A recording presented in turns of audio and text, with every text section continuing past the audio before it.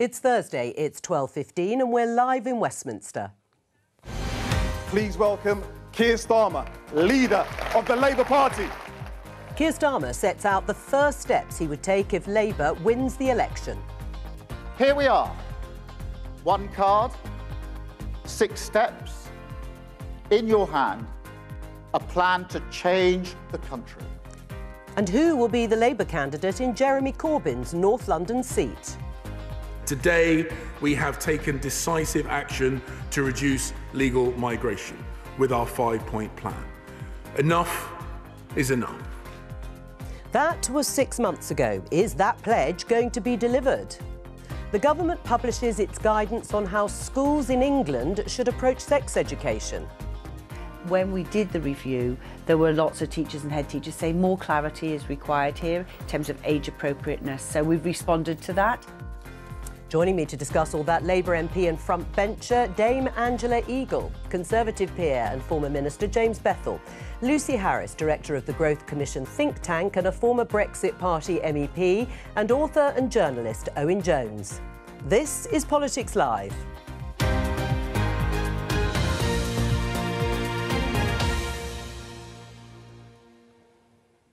Let's start with this story in the Financial Times. The headline says Berlin explores tax breaks to get Germans working longer hours. It's reported to be part of the German Chancellor Olaf Scholz's growth plan that aims to make working longer hours more rewarding. Should we encourage people to work longer to grow the economy here, Angela?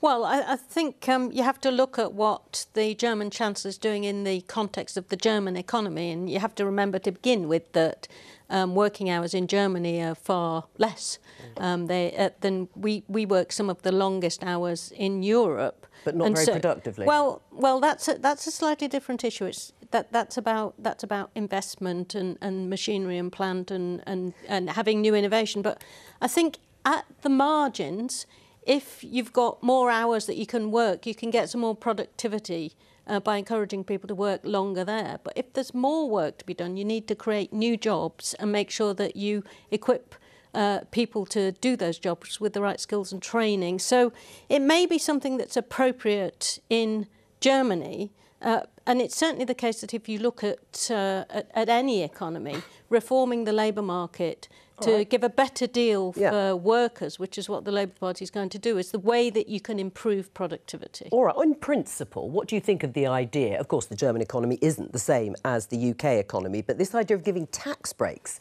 uh, to people to encourage them to work longer hours? It's a good idea. I mean, if you want to make more money, you need to work longer and harder. We've got a massive productivity problem in this country. 280,000 people have dropped out of the workforce altogether due to poor health and that's costing us 60 billion pounds a year that we can't afford.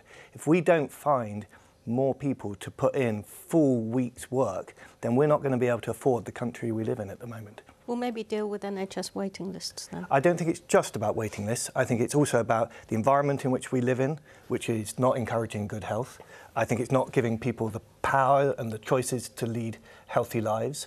Uh, and I think it's also a bit about some personal decisions about people trying to commit themselves to looking after themselves. It's a complicated matter, but you are right yeah, that health is at the centre of it. Uh, Lucy, you're the director of the Growth Commission that was set up by Liz Truss, the mm -hmm, former yes. Conservative Prime Minister. What do you think of this yeah. as an idea to get people, Germans, working longer hours to give them tax breaks? Yeah, well, I mean, we've we've uh, said in our most recent growth budget that we should be doing tax breaks, and it's not necessarily uh, a more general thing. We do have a, a mix of different taxes, like unfreezing, uh, unfreezing tax allowances, but we've also got abolishing inheritance tax, which we want to focus on retired people who we want to get back into the workplace because we think that they would increase growth in the economy. So it's about incentivising different sections of society to get back to work, and like James said, it's also about accounting for those who are sick as well.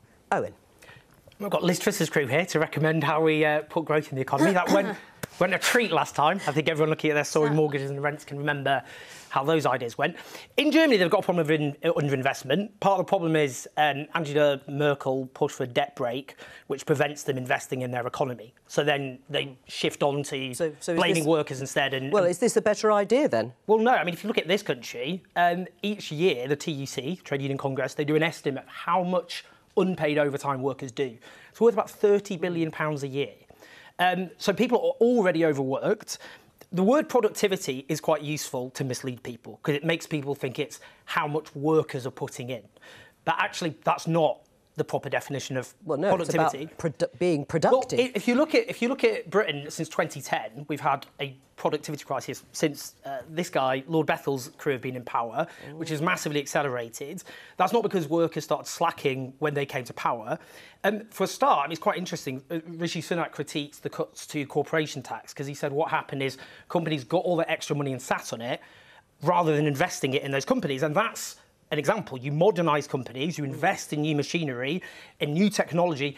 Companies have failed to do that in this country. So I, I think the problem right. isn't overworked workers, it's investment, and that's a price of a private training. and public investment. And skills training well, as well. Let James that, come back. To go with it. Absolutely. Uh, skills are very important, but listen, we've got a problem that a lot of people are leaving the workforce altogether mm. in their 50s, 60s, at a time when people are also living longer. That is just unsustainable if we're going to keep uh, paying our bills as a country. We've got to keep people in the workforce for a longer period in their life. And by the way, people live longer if they are working. It is good for people for their mental health, for their physical health, for their sense of mission. If they're in good work, and therefore, if, if their health is good enough, then they should be um, encouraged to work. So I think that the idea of tax breaks for people, either later in life or for their overtime, are the kinds of sensible measures we should be taking. Right, more, encouraging more people back into the workforce. What's wrong with that in general? Well, I mean, it, it depends on, on, on, the people we're talking about. There are people with ill health when it isn't appropriate to send them back into the workplace. And I think that's my fear with the government's policies. And do you think there are some who perhaps could be encouraged back to work and actually Well, we don't have a functioning national health service in this country, so we have lots of people with health conditions who aren't being properly supported and treated, and that's the problem with, with what they've done there. Just quickly, though, if yeah. you increase uh, the amount of time people work, that hits working class people more because the poorer you are, the less you live and the less your healthier life is. Um, and the That's second point true, is, Owen. if you look at the four-day week, if you look at the, the, have a conversation, don't yeah, shout. If you look at the promotion of the four-day week, um, which actually Germany in, in place have been trialling, that finds actually productivity goes up often when you increase, decrease people's working hours. They do more, and actually their well-being well, is improved. I, I think Just it's very, also very about brief. the quality of work. At the moment, we've got a lot of people who have fragmented contracts who are working and yet all the hours because that Labour's they can and still not earning enough money to get out of poverty. So it's about quality of work and being able to uh, improve your prospects by working as well. Just finally, Lucy, before we move on then. Did you want to um, say something? Well, yeah, I think we should also be looking at public sector productivity as well, and that's a significant issue in this country. And it means that from our overspend, I think it was 192 billion pounds that this country has spent on civil servants, with a lower 6.7% of productivity in the last year, means since COVID, uh, it means that we need to find a different way of managing how we do things on the public sector as well. Although um, it did expand, of course, under COVID absolutely. And um, how we can do that is freezing budgets, which would allow well, for a lot of these tax breaks. Let's look at uh, some of the suggestions from Labour, from the Labour leader, because there's been a big launch today uh, with the party talking about its core messages ahead of an upcoming general election campaign. It was at an event in Essex, and Sir Keir Starmer set out what he describes as his first steps for government. Let's have a look at how the papers have been covering it. The Times. Starmer sets out to woo voters with six pledges. It does say underneath no new policies, but a vow to control borders. And then the Mirror. Uh, Keir to mirror readers. You can see there uh, the six steps. My six fixes for Britain. Well, let's show you how Labour have uh, demonstrated those six steps. There we are. Deliver economic stability, cut NHS waiting times, launch a new border security command, set up Great British Energy, crack down on antisocial behaviour and recruit 6,500 new teachers. And there is Keir Starmer with his sleeves rolled up and ready to go. uh, let's uh, take a listen to some of his speech. This is a message that we can take to every doorstep across the country. Every doorstep across the country and make that argument. Decline is not inevitable. Politics can make a difference. Britain will have a better future, and you can choose it with Labour. Stop the chaos with Labour. Turn the page with Labour. Return politics to service with Labour. And with patience, with determination, with these first steps, we can rebuild our country with Labour. Angela, will Labour change everyday people's lives? Yes, I mean, that's the whole point of How? Labour Party being created, and these are the first steps, illustrative steps, which will make a real difference in uh, in day-to-day people's experience of the way our country works. So, for example, get uh, cut NHS waiting lists. We've said 40,000 uh, more uh, appointments in the NHS each week. Uh, that will mean that we can start tackling some of the things that we were talking about uh, with people waiting with long-term conditions to get treatment. All right. Uh, for example, cracking down on antisocial behaviour, recruiting six and a half thousand more No, sure. teachers. We know we know what they key say. Subjects we know what to they say. prepare Will people. but will it really amount to fundamental change? Um, do you think it will? Will Labour change people's lives? Well, I don't know, but I am disappointed by the vapid nature of these pledges. Take the health pledge, reducing waiting lists. A- Angela is just um, not right to think that those GP appointments are going to make any dent on waiting lists at all. And that's a meaningless commitment if it's not supported by a comprehensive public health programme. He says first step. These are first steps. Yes, of course, but it- it's- it's- that's an outcome. You, you get a reduction in the waiting list once you've addressed a load of quite complicated matters. and therefore, presenting this as though it was a click of the fingers, snappy thing that they're going to do in the first few days gives me the feeling that this agenda is being run by pollsters rather than by That- thoughtful I mean, politicians. uh, th- these are illustrative of the missions that uh, Keir Starmer set out, which he is talking about um, taking 10 years to uh, bring into So effect. two terms there he is there is absolutely uh, no view that you can wave a magic wand and everything's going to be hunky dory. But what we have to do is get away from 14 years of chaos and incompetence with the Conservative Party, a party that's more interested in changing the Prime Minister than changing the country, obsessed with its own internal politics, But and have that, some is, yeah, no, coherent, understand, but is that the competent problem? government Is that the problem? You're relying too much on people having fallen out of love, if they ever were in love with the Conservatives, rather than setting out something that looks like it will deliver Well, there'll the be change a, there'll that you've a, set out. There'll be a manifesto. The, these pledges are the first steps. They're not the entirety of the manifesto, and they're illustrative of the changes that we'll make in issues that really people care about. So, setting up GB Energy, for example, to ensure that we can have more security in our energy system, that it'll be clean, that we can keep prices down. That would make a real change to every person up and I down this country. we are deluding ourselves to think that anything is going to change necessarily because the issues are still, still the same. We still have planning problems that are still the same, which means we don't have cheaper energy because we can't build. We still have housing issues because yeah, we we're going build. to reform the planning system and we're going to build more houses. What are you going to do? We are going to reform the planning system so that we get. Well, we, we're not going to have. We are not applications is what going to have said. a load of NIMBY backbenchers who go Ah, behind their back into Downing Street and stop change happening.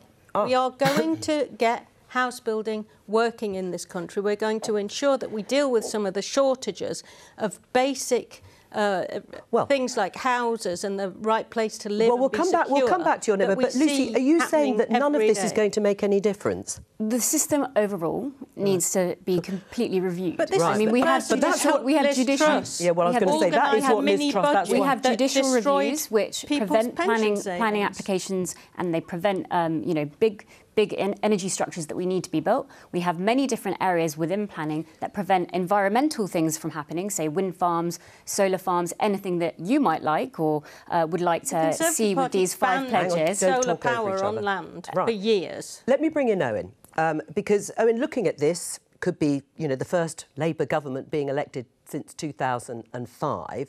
Is this going to deliver change? No. Firstly, there's a question of trust. There's a reason he's not calling these pledges, because that would remind everyone of the pledges he made when he became leader of the Labour Party public ownership of utilities, taxing the rich in order to invest, scrapping tuition fees, ending private sector. But he's done that already. He, he's done that already. So you're saying people won't trust Yeah, I'm? I'm, saying, I'm, I'm, saying if, if a politician with that record mm. of dishonesty, uh, U-turning, I mean, again, 28 billion pounds a year clean, a clean investment fund, uh, that he scrapped as well. But the other point is, this doesn't even scratch the surface. Take the pledge he's made on teachers. That account, that amounts to every school in the country getting 0.2 new teachers. uh, a 2% rise in NHS appointments. The problem with what Labour's done is they've firstly back to fiscal rule, uh, which they have taken from the Conservatives, which means they can't have new investment. Um, backed by the fact they won't increase taxes on those who are booming like never before. So they can't invest in these public services. The other point is, and this is, I think, gets to the core, you, Angela mentioned why the Labour Party was founded. And it was founded in order to represent working people and those who are struggling. Um, New Labour, for all my problems with New Labour, which we could have a whole programme on, they had an anti-poverty measure, a flagship anti-poverty measure, the minimum wage. This Labour Party has not a single anti-poverty measure, and if it gets By worse, way- it gets the way- worse than that. they support the Owen- two-child benefit Owen, cap, yeah, Owen- which drives children Owen, into poverty. The minimum wage wasn't in uh, New Labour's five pledges, but we did it when we were in government. These are steps that we're going to take. They're not the entirety of the programme. And if you don't think that Labour is going to make a difference and you're anti-conservative, then what are you actually saying about what should happen at the next election? That you're happy to keep the Conservatives in power? and- and- and- because the choice will be between a Conservative government and a Labour government. I think the first point I'd make is the minimum wage. That was Labour policy years before the 1997 election. It's not true they unveiled that in 1997. But Owen, it was answer policy que- for but years. answer that question about what you want to happen.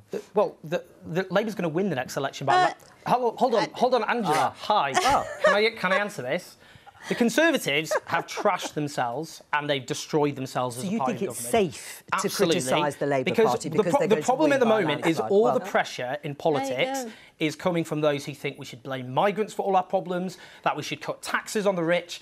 And we need pressure on the Labour Party from those who think we need to increase taxes on the well-off, which Keir Starmer promised and reneged I on. would- I would- Investing I in mean, public services. To be honest, Owen, I'd welcome pressure on the Labour Party when we're in government, but I think that you've rather um, taken for granted the next win. Remember that Jeremy Corbyn left us with the worst election result we've had since 1935. I have had to spend the last few years sat in the House of Commons. At the beginning of the Parliament, it's less so now, there were 164 more Conservative MPs than there were Labour MPs. And we have got a mountain to climb to win the next election. Polls are looking good, hmm. but An- we've Angela, got to deliver know- the deal. you know- so I just would can I be answer that quickly? very happy, Owen, mm-hmm. for you to put pressure on the Labour government when we've got one, but you mustn't assume we're going to get one if you go around This saying is- our leader this is, dishonest. absolutely hilarious. The idea oh. that you should abandon pressure when you have leverage. The fact is, What politi- leverage have you got, Owen? You've left the I'm Labour just, Party. Well, because I can argue for people to vote elsewhere But why did you in order to put pressure on the Labour Party to actually stand up for the things that Keir Starmer originally promised in the first place. But uh, I'll come to that actually in a minute. Owen has a point though on increasing taxes. Owen has many Uh, points. He does. Thank you, Angela. I'm glad the finally we one- have Too a many consensus. Owen- Owen- Wisdom emerges on the panel.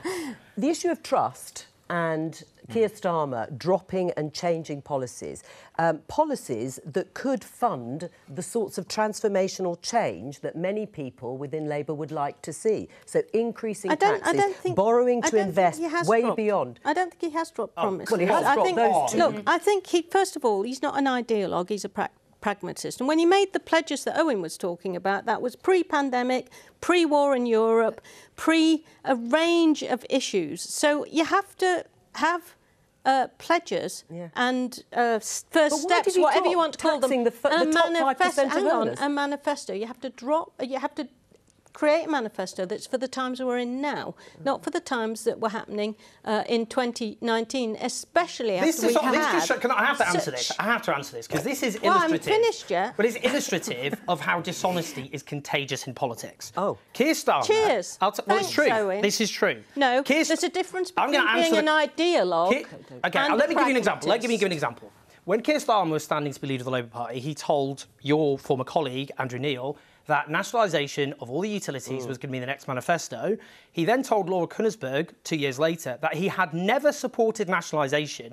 Now, if Boris Johnson had done something similar, you would quite correctly be denouncing him for All right, well, dishonesty. Owen- You're not because We're going he's your to guy. take That's rail into public ownership. We're looking at what to do with some of the other failing utilities as well. I think you should have a little bit more optimism about what Labour What, so you're government can sneak hang on, hang on. deliver are you? than you're saying Let me pick up on something else that Owen uh, uh, said, which is that Labour are going to win the next election. They're going to win it, and they're going to win it big. Whether it's as big, yes, he says. Whether it's going to be, and then he's left the party. Uh, whether why is it's that- going to yeah, be, what's- whether, what's whether. Well, I'll come back He's to that He's left the party so he can Um, tell so people um, not to vote Labour. Do you agree? I, I don't completely agree. Listen, I can see the polls as everyone else can. Yeah. I go out and about. You, I can, you can tell what the mood in the nation is. But I was also working at the Sunday Times in 1992, and it felt very much like then. It felt like a slam dunk for, for Labour. And then suddenly it all slightly went different. And there was a question of trust. Uh, Kinnock came across badly, and then the nation slightly thought that maybe John Major had a point. You're kind of getting that on uh, Sunak a bit. Are you? Well, today's migration figures are going to make a lot of people think maybe he's got a point. All right. Well, let's have a look. Yes, and Lucy, I'm going to ask you to comment on this. Labour's first steps for change. We've gone through them all, but let's focus on the economic one. Um, deliver economic stability with tough spending rules so we can grow our economy and keep taxes, inflation, and mortgages as low as possible. Can you sign up to that? So, well, I want to know what I'm actually signing up to for once because I haven't actually seen what that economic stability and the spending rules he's talking about. As far as I'm concerned, you would have to start to freeze budgets to be able to afford any fiscal headroom for anything that he's suggesting that he would like to spend his money on. We already know But that they've the dropped Liz Truss 28 way. billion. We've already we already know they've dropped the 28 billion pledge to their, their green program because they can't afford it, and they are in the similar situation to the Conservative Party. Um, there is there the, where we're going to get the money from is questionable. We can't you know print more money because we'll end up in further inflationary situation, and we can't increase our debt. So where does he go? And I think that's the current question that he's grappling with and the Labour Party are grappling with. And I, I, I suppose in a similar sense, the Conservative the Conservative Party is also grappling. I mean, with. obviously, they're learning the lesson to some extent Mm-hmm. of what happened under Liz Truss and Kwasi Kwarteng and the mini budget with 45 Mm. billion pounds worth of unfunded tax cuts. You can't do these things Yeah. Out of thin air because markets yeah. crash and our currency. I think you need to project into the future, and that's precisely what Well- we do at the Growth Budget, uh, the, the Growth Commission. We look at certain policies, and through our modelling, we can see what the policy will have an effect on GDP per capita from 10, 20 years into the future. And that's how we can start to look at what is possible and what is viable when we're looking at budgets and when we're looking Well, at Well, with economic, economic plans. modelling, it depends on the economic assumptions Mm-hmm. that you've written into the model, and I presume it'll be a neoliberal economic assumption that you have to cut uh, the public sector as much as possible, which is what you've been talking about, uh, and somehow that uh, if you give people tax cuts, growth will automatically But we're um, is come talking about- out in of the model, nowhere. That we- is we can precisely certainly what give Liz you Truss decided to do, If, if and you're look interested, we can how certainly give you a rundown out. and let you know how it's put together. The model that we actually run takes into a lot of different things into account. We actually measure regulation, which is the biggest issue we currently have in this country in terms of how we grow the economy. We did a budget and we worked out that we would grow the economy by 2044 by 6.4% if we got our planning rules correct. and why should people trust what you have done? Well, I think it. I think it's looking at how our modelling works. Our modelling is, um, you know, we've written it with a collection of 13 commissioners and economists from across the world. We have uh, multiple ones all have in the same ideological well, bent. You, I mean, expect. If I mean, some of them have different opinions, and that's why we are a commission. We have different opinions feeding into the commission. We've recently uh, produced a report by uh, Naohiro Yashiro, which is a Japanese commissioner who's written about the demographic changes in the West and what we can do. It does have some uh, some uh, policies that you might sign up to, Angela, Oh. getting women back into work, um, and you know, incentivizing women who You have, have to, been if, if you're getting women back into work, back into you have to facilitate them getting back Oh, into work by and that's your having job. All right, let's go back- childcare, and that is, Oh. by the way, public expenditure, Mm-hmm. which you're against. Let me just show you this uh, headline. Jeremy Corbyn, Labour to select candidate for Islington North seat. Um, this has been a bit of a saga uh, with Jeremy Corbyn, uh, the former leader of the Labour Party, sitting as an independent, wants to stand again as a Labour candidate in the seat that he has represented for quite some time. Uh, will he be able to do that, Angela? No. No. Um, would you persuade him to still stand for the Labour Party, bearing in mind you've cancelled your membership of the party? No, he should, of course he should. He should he, uh, his local party wants him to be their candidate. Right. They nearly unanimously voted for him to be their candidate. Yeah. The Labour leadership is banning them from allowing him to be the candidate for the party. But you think, but you, you've said the Labour Party is in my blood. Here's why I've just cancelled my membership. Wouldn't he also have greater leverage outside of the party? As Yeah, I agree. That's why he right. had- that's so why he you're should going to stand as an independent. Oh, right, as an independent. No, you're no, not he, encouraging he, to he- stand as a he Labour absolutely candidate. will stand as an independent. Look, uh, uh, Keir Starmer, when he ran for leader, said that any local parties must have the right to choose their own candidates. Another example of his pledges burned to death. This is a this is a Labour Party now, which is for Natty Elphicke. She's one of the most right-wing Conservative MPs. She intervened to help her sexual predator husband. That's the Labour Party today. A woman who stood up All over right. and over again, Well, fine, bashed fine. Migrants, done bashed that but let me put But that, on, uh, no, but on, on this point about fight, the point about why I left, I think you keep Oh, bringing yes, it up and then just dismissing yes, it yeah. without talking about No, no, I and it's don't all very funny and all the rest of it. The point is, at the moment, if you believe in things like taxing the rich in order to invest, if you believe in opposing war crimes, Labour thinks that that you'll just vote for them whatever. They don't need to listen to you and they don't need to cater any of their policies to, for you. But Labour have to fight for those votes.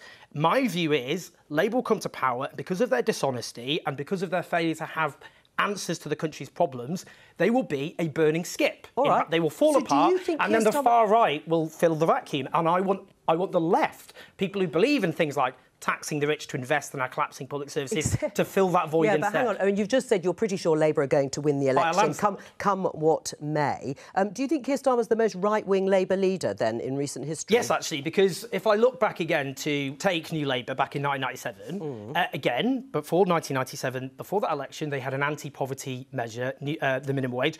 Keir Starmer backs a two-child benefit cap, which Yeah. now puts into the right of Suella Braverman, which plunges hundreds, it, it imposes the evil, the social evil of poverty on little children.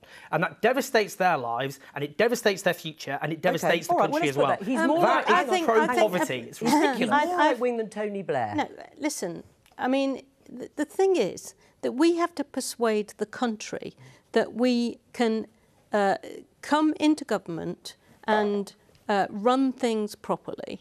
And we have to, therefore, we're held to a higher standard than the Conservatives. We have to cost the uh, programme that we're uh, going to run the country with. And we are always under far more scrutiny than anybody else. So If kids in a- poverty should pay the price. Hang on, for hang on, hang on. Let her finish. Well, what are you Um, going to do to lift them out of poverty? our- You No, support Owen, driving children into Owen, poverty. Shouting across the table. you know, She let, let her, let her answer.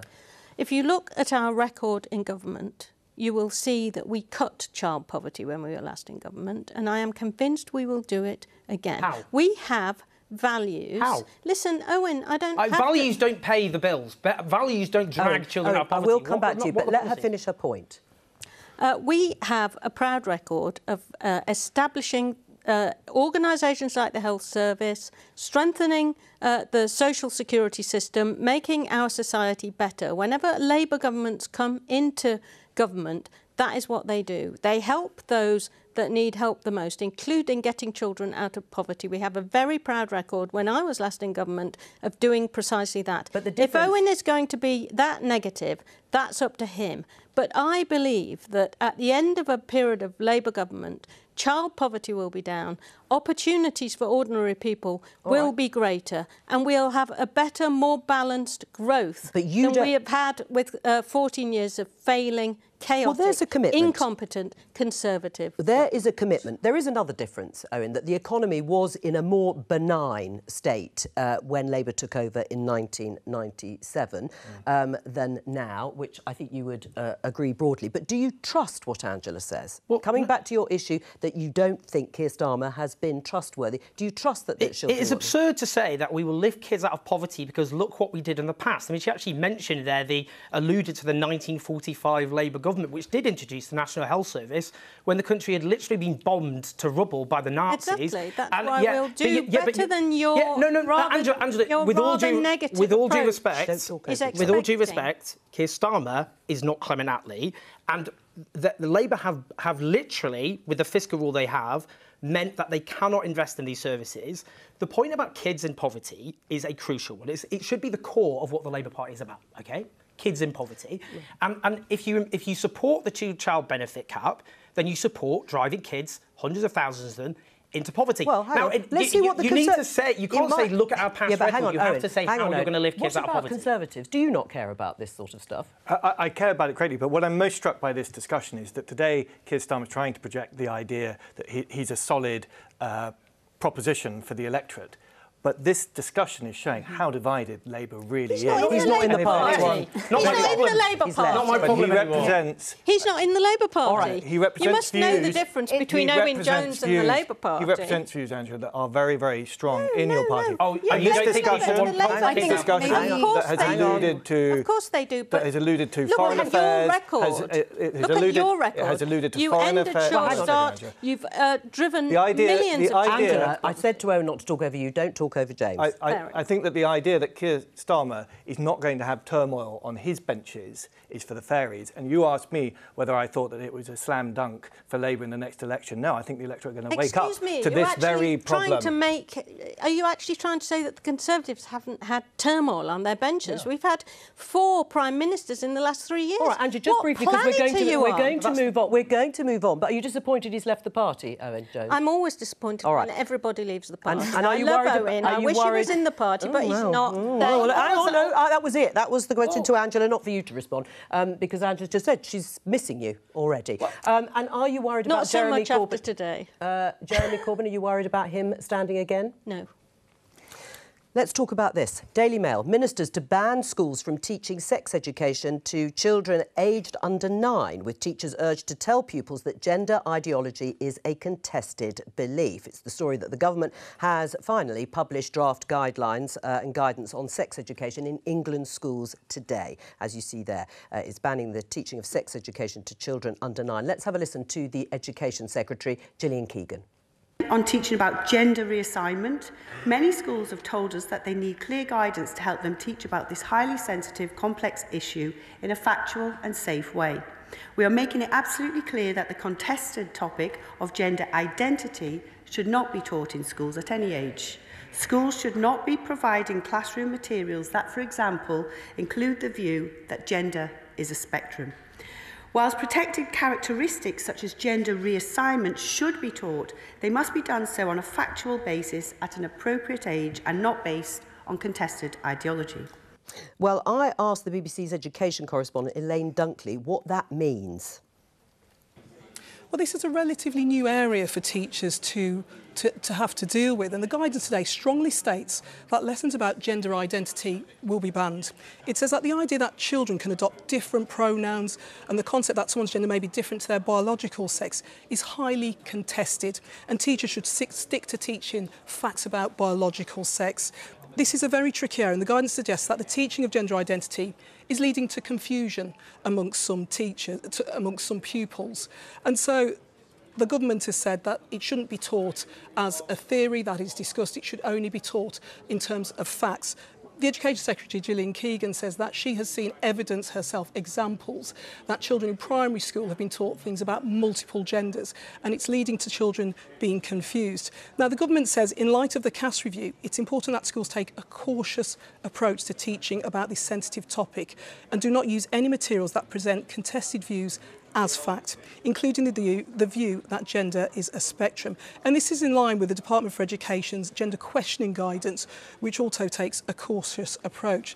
Now, teachers have asked for clarity on this issue, but just because this guidance has been issued, it doesn't mean that those children who may have struggles around their identity are suddenly going to disappear. And so teachers are asking, well, what should we do when a child wants to discuss these issues and what consequences will there be for teachers if they do discuss these issues? Well, that was uh, Elaine uh, Dunkley, my colleague, and Gillian Keegan speaking in the Commons, I think, a short while ago. James, first of all, why was this guidance necessary? I think the evidence is very clear that the kids themselves are deeply confused. The Children's Commissioner report spoke to 320,000 children, and their degree of mental health challenges and genuine confusion amongst pupils about these kinds of issues, about particularly sex education, is really profound. It also spoke about mobile phones, access to pornography, and the whole um, turmoil that young kids face nowadays uh, in talking uh, about sex. These are conversations that should really be having with parents at a young age, not, not uh, solely in schools. So I think these are very sensible measures, and parents will be very relieved to hear them. Do you, do you welcome them? No sex Well- education under the age of nine? I'm not sure there was that much No, I sex don't- education going to kids on time, but anyway. I, d- I don't think there was. Okay. Um, but uh, I mean, the first thing to say is we have to look at what's happening here in the process. The government have been going to come up with these guidelines for months, months and months. Yeah. They've left no support or guidance for teachers. Mm. And what happens? Two days ago, they are spun to all the right-wing papers. So we've had two days of ridiculous but let's headlines. talk about the substance. No, but no, but you have to look at what's going on here. People are being used as pawns in the culture war. Okay. So it could have been done better. It's been I a think great the evidence important building thing. exercise. I think the important thing. Well, I wish that they'd. Have, but I haven't seen the guidelines. published. No, it's been published while we've been on air. No, the I tried. I tried to get the guidelines haven't been published. I haven't been able to read them before coming on here, so I can only rely on various bits of spin. The key thing, though, is it's And got to be age appropriate. Um, it's got to be thinking about having the child and the interest of the child at heart. Uh, it's important, despite all of the uh, the moral panic about trans people, that we acknowledge that trans people exist and they have rights uh, in law and they have the right to be treated with respect and dignity. Yeah. That's an important part as well. Well, can I just pick up on that? Yeah. o- on that with uh, Yeah. Lucy and Owen, because this phrase, the, the guidance makes clear that the concept of gender identity, what, you were saying, the sense of a person may have of their own gender, whether male, female, or a number of other categories, is highly contested and shouldn't be taught. What do you think that means? I mean, Angela has just said it's recognised in law. And now we have guidance saying it's highly contested. But it is highly contested. I mean, uh, the NHS has also brought out their own guidance on this about, you know, dividing into, you know, genders and sex in their in their own departments. So the idea that it isn't contested is not true. The very fact we're even debating it now says it's contested. And I think I'm really surprised that it's got to this point because in schools, um, teachers should not be imposing their own personal beliefs and their own no ideas evidence that they onto are. children. And these are political beliefs No because they are evidence that they contested. are. And if it is contested, then this is a But this political trans- belief. It is, it, is a, it, is a fa- it is a fact that trans people exist. That it is, is a fact true. that people That is change true, and transition That's not a in terms of their gender belief. It's- identity. but And by- the- Well, let Owen biological finish, I'll sex come back to isn't- you. Look, look I, I, I grew up into Section 28. I was a closeted gay teenager, and So Margaret- just say, yeah, and just say that clause Section 28, 28, what- what it was- did is it prohibited the promotion of oh, of- homosexuality it- by local authorities. In practice, that meant there was no teaching on LGBTQ Yeah. education whatsoever. Margaret Thatcher introduced that saying that children are being taught they have an inalienable right to be gay. That's what she said. And there was this idea of contagion, that by being taught about gay people existing, that would turn children we'd gay. multiply. Now, what that actually meant in practice, growing up, if you grow up LGBTQ when you're young, it is terrifying. And if you don't have education, something else fills the vacuum. You hear what other people say. Now, that might be other people being supportive, but it might be other people saying very ignorant things. and do you think The this is the same moment for, for, for Absolutely. And the other thing that really worries me, when Kemi Badenoch, she says it really angered me. What she said was, in, in support of the idea if someone changes their gender presentation, then their parents have to be told. She said because nobody loves their children more than their parents. Now, in some cases, that's true. But that's not true in some cases. Some parents are abusers, and in, my, in, in, in terms of LGBTQ I- people, I just- all I'm LGBT, sorry, I just- I all can't LGBTQ Well, let her- people let- know. let- let just Lucy- quickly, yes. all LGBTQ people know par- uh, uh, lives of their friends who've been ruined by their parents because they failed to accept. All right, who well, they let are. I'm Lucy really respond. sorry, but you know, children are not the property of the state. You do not get a right as the state to come in and intervene between a child and a parent relationship in this even way. if they're abusive. But Even that we're not talking abusive. about a very Yes, we are. specific instance. You Yeah, are, let her- let I'm not. make- let I'm talking point. generally about this topic. I'm saying that you cannot go into a parent-child relationship and take the power away from a parent and decide on their behalf. isn't. It's completely inappropriate, and I think we have to start putting up barriers as to what teachers can and cannot say to our children. As a young woman who has grown up in, into into a state school system, I also know what it's like having to deal with my identity as a woman, and I think we should be protecting women, and that is precisely what I think this government is trying to do. No, no, no. Again, what we're talking about here, I don't. No one's No, saying that. you're talking no, about. nobody's hold on, hold on, hold on. W- Nobody's saying that parents shouldn't have a role and the state will take Mm-hmm. over. We're saying that firstly, you shouldn't out children to their parents without, without regardless of the circumstances. I'm circumstances. sorry, but the parent According- is the main guardian. According, the teacher right, is not. you- they we- are the they are the you person who. Don't- do- don't- do you don't talk accept over each other, it's that very many hard for the viewer. LGBTQ people grow up with parents who are homophobic, anti-LGBTQ, and that has a lifelong damaging consequence for them. Do you accept that or not? That's a straightforward My- question. No, the point is here, and it's not what you've what you're setting out here. It's about who gets the question? ultimate say Is it the parent or is it the state? But that is the question. But Owen, can we focus on can we focus on what is being proposed right. in this guidance well, and whether it is fair to trans people? Because there's been a there's been a change in tone, let me put it that way, uh, as well as language. Uh, and actually, the clause 28 moment, um, Peter Kyle, the uh, Labour MP, also said he was growing up as a gay man when that was in place, and he said he felt that the government was against mm. him yes. at that time.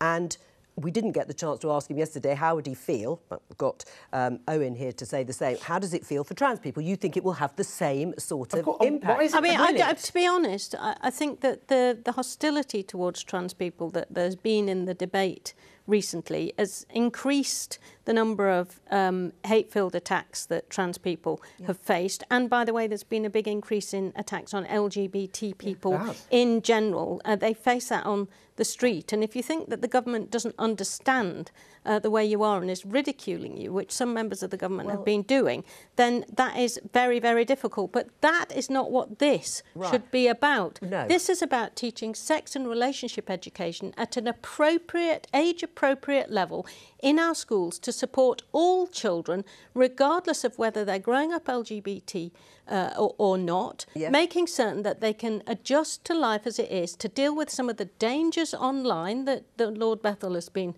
talking about, and understanding right. that if they're not given proper information at school, they will get it from somewhere exactly. else. Right, okay. There are but now large percentages let me, let James, of girls who think respond. they should be hit let, by their boyfriends. Let, let James... That's, let James. Let not James appropriate. I think, I think that, uh, listen, I agree. I agree. You put that very well.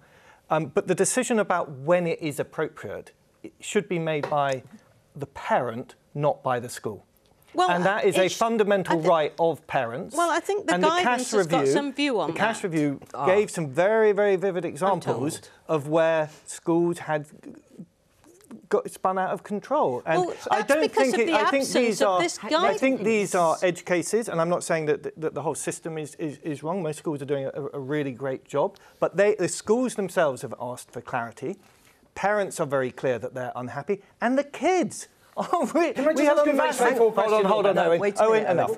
Hang we've, on. we've had we've had um, a very very clear signal from the children themselves that they are not happy with being bombarded with sexual imagery online, with being taken too quickly through the education. I don't think anyone would disagree with right. that. It's got to be age yeah. appropriate. But do you accept yeah. no, that I, the I debate? I, do you accept that, that, the debate has changed within Labour? Wes Streeting, uh, a gay man, Shadow Health Secretary, saying that once he saw the Cass review, the Hilary Cass review into NHS gender care, and she brought up all sorts of grievances and problems, said it had been under researched, he changed his mind in terms of his approach. Um, and I, I mean, I, I, think that the Cass review and, and, and the issue about gender clinics is a completely different thing that you shouldn't connect. You shouldn't connect up to this. Yes. Um, that's the, the first thing to say. Yeah, that's the first thing to say. Except that he said that people like himself, leading figures, were part of the decades-long problem of silencing any critic of the sweeping transgender debate. He said absolutely, and he said now that he blew all of that out of proportion. He's changed his view yeah, when it comes to discussion. Wes Streeting is completely unrepresentative, can assure you, of, of where LGBTQ people stand on this. Look, the, the point is. Well, that at the moment, if you are a trans child, you live in a society where your government is constantly whipping up bile for cultural reasons, where the media is portraying, just as gay people were portrayed, sexual predators, mentally ill, threats to children. The same songs are being sung that has a very damaging impact. And we now, I'm sorry to hear on national television saying that in all circumstances parents should have the final say, when there are P parents in this all country right, well, who think being that. gay is evil. All right, but we want I mean, to talk ludicrous. about the impact of this guidance. Mm -hmm. Why, listening to everything you've heard, yeah. why do you think it needs to change so quite dramatically. I think there's a vulnerability of children and they're very impressionable. Um, I think that there are teachers who have very specific opinions and very strong opinions, like Owen, um, who want to uh, who want to sort of prescribe their own personal opinions, and I think that's wrong. I All think right. they should be developing and having a childhood. We didn't even have time for immigration. That just shows you what the panel was like in a good way. Um, I'll be back next week. Bye.